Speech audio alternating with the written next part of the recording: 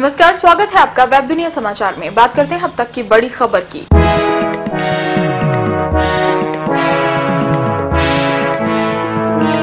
बाबा रामदेव बोले 2000 के नोट से बढ़ेगा भ्रष्टाचार। योग गुरु बाबा रामदेव ने भोपाल में संवाददाताओं से बातचीत में कहा कि उच्च मूल्य वर्ग वाले नोट किसी भी मुल्क के लिए अच्छे नहीं होते। इसीलिए सरकार को देश में 2000 रुपए के नोट के प्रचलन पर पुनः विचार करना चाहिए।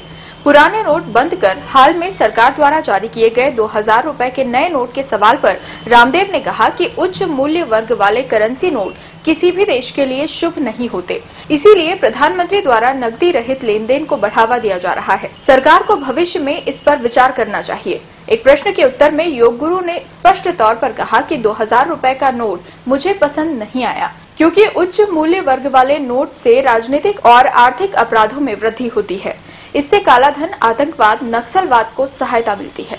इसके साथ ही ये चुनाव के दौरान मतदाताओं को लुभाने का काम करती है। उन्होंने कहा कि उच्च मूल्य वर्ग के नोट से करोड़ों रुपए मूल्य के नोट सूटकेस में रखे जा सकते हैं। मध्य प्रदेश के मुख्यमंत्री शिवराज सिंह चौहान के नर्मदा नदी के किनारे पाँच किलोमीटर के दायरे में शराब की दुकानों को बंद करने के निर्णय की प्रशंसा करते हुए रामदेव ने कहा कि महात्मा गांधी की इच्छा के अनुसार देश को धीरे धीरे शराबबंदी की दिशा में आगे बढ़ना चाहिए।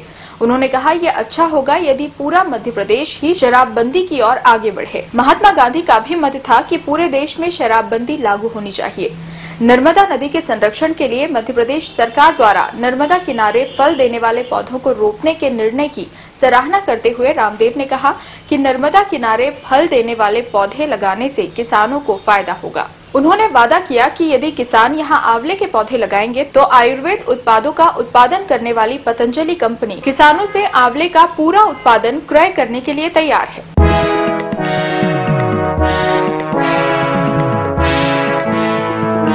और अब नज़र डालते हैं सुर्खियों पर। राजौरी में नियंत्रण रेखा के पास मुठभेड़, एक आतंकी ढेर। ऑस्ट्रेलिया में शॉपिंग सेंटर से टकराया विमान, पाँच की मौत। सुब्रमण्यम स्वामी ने किया कार्ति चिदम्बरम के 21 गुप्त खातों का खुलासा। एन चंद्रशेखर, टीसीएस के भी चेयरमैन बने। मैक मास्टर बने ट्रंप के शीर्ष सुरक्षा सलाहकार।